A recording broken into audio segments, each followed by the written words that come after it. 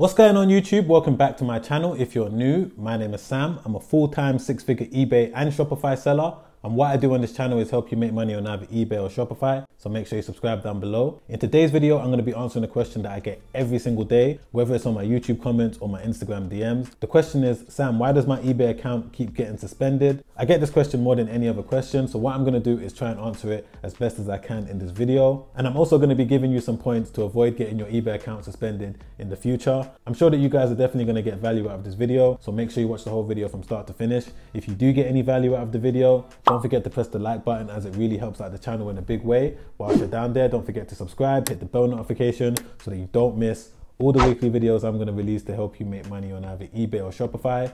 Let's not waste any more time. Let's get right into the video.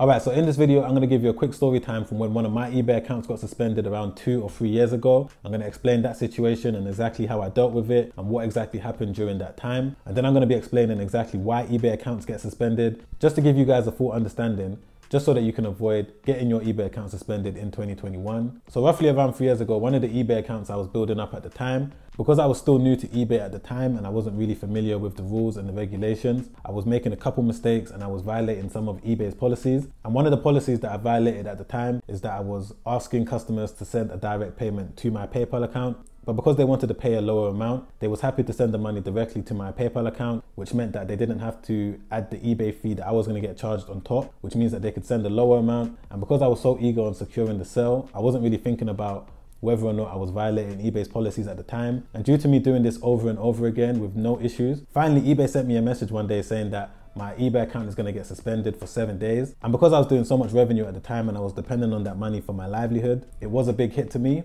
Seven days meant that I was losing out roughly on like 8,000, 9,000 pound worth of revenue at the time. So during that time, I did try to call them and try to appeal the decision. Um, I called them maybe like five, six, seven times. I was calling them every single day, trying to get them to turn around the decision. And finally, I got through to someone at head office and they just told me straight out that I need to deal with it. It's only seven days that a lot of people get their account permanently suspended. But because this was the only policy that I violated at the time, and I proved to them that I was a good eBay seller, they only suspended my account for seven days. The guy on the phone told me that I just needed to deal with it, and then by the end of the seven days, I'm gonna learn not to make that mistake again, which was very true. From that point, I made sure that I read up on eBay's terms and conditions, eBay's selling policy, and everything like that so that I didn't make any other mistake because those seven days felt like a lifetime at the time. So I learned a lot from those seven days. And trust me, I didn't make any other mistake similar to that ever again. So moving on to exactly what can cause your account to get suspended, I'm just gonna jump into a couple things right now. I've made some notes on my laptop over here. So the main reasons why eBay accounts get suspended is you haven't paid your eBay selling fees. So for example, if you've sold an item on eBay and they've been sending you messages telling you that you need to pay your eBay selling fees and you haven't done so, this could be a cause to your eBay account getting suspended.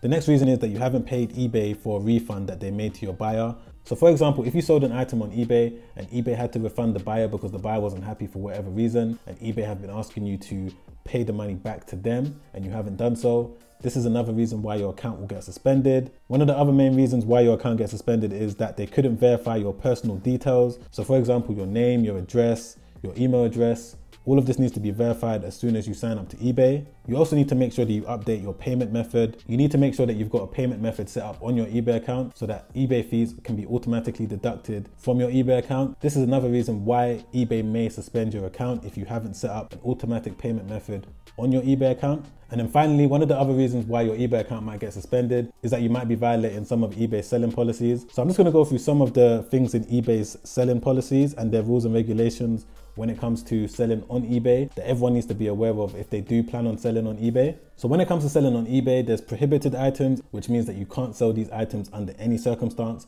And there's restricted items, which means that you're allowed to sell them if you've got a specific license to sell them. But eBay are going to closely monitor those listings and you need to provide proof that you're allowed to sell those specific restricted items. So what I'm going to do is just quickly go through the prohibited items first.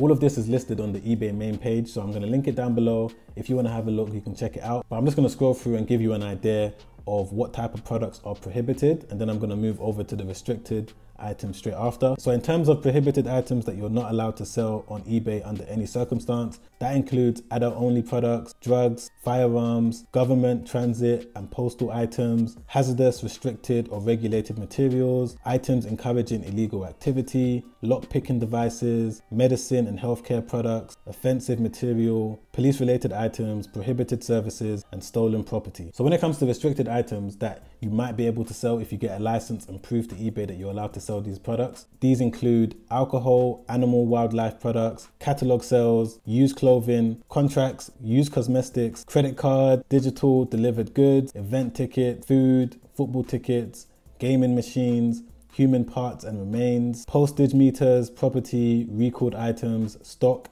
and other securities, tobacco, travel, unlocking software, and vouchers. Those are the products that you might be able to sell. I'm surprised that human parts and remains are kind of allowed on eBay, but anyway, but yeah, those are the products that you might be able to sell if you get some sort of license. So this may be another reason why your account is getting restricted because you're not providing eBay with the necessary paperwork to sell these restricted items or you might just be selling any one of these prohibited items. So you need to make sure that you do your research in terms of what items are allowed to be sold and what items you need to provide proof for before you start selling them. So there's various reasons why your account might be getting suspended. I would just say to avoid getting your account suspended, go down to the link below, check out the eBay webpage where it discusses eBay selling policies and everything that you need to be aware of before you start selling on eBay. Because one thing I want to point out to you guys is that once your account gets suspended, it's going to be hard for you to open up another account in that same name. So always make sure that you do things right to start off with. And if your account does get suspended, you can always contact eBay, try to appeal, try to speak to someone there, maybe clear up the issue. Maybe all you need to do is pay your previous selling fees from an old eBay account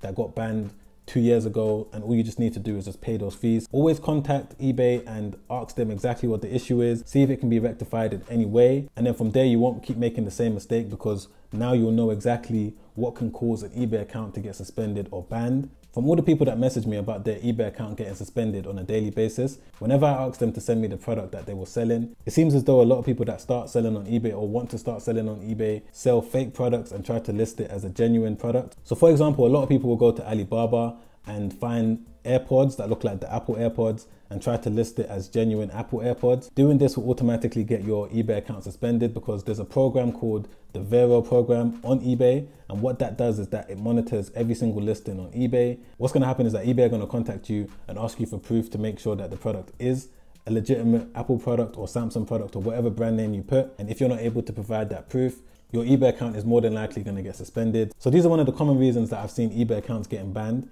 is that people are selling fake products and trying to list it as genuine. So make sure that you're not doing this because once your eBay account gets banned, it's going to be hard for you to open up a second eBay account. Make sure that you do the right things. Make sure that you're reading up on exactly what you need to do to avoid getting it banned. I'm going to link it down below. And there you go, guys. I hope now you have a better understanding of what causes eBay accounts to get banned and you're going to avoid making these mistakes in 2021 so you can continue to make money on your eBay stores. If you found any value in the video, don't forget to press the like button as it really helps out the channel in a big way. Whilst you're down there, don't forget to subscribe, hit the bell notification so that you don't miss all the weekly videos that I'm gonna release to help you make money on either eBay or Shopify. Don't forget to add me on Instagram as well. Comment down below and let me know what you thought of the video. I'd love to hear from you. If your eBay account got banned for one of these reasons, let me know down below in the comments. Let's get a discussion going. All right, guys, I'll see you next week.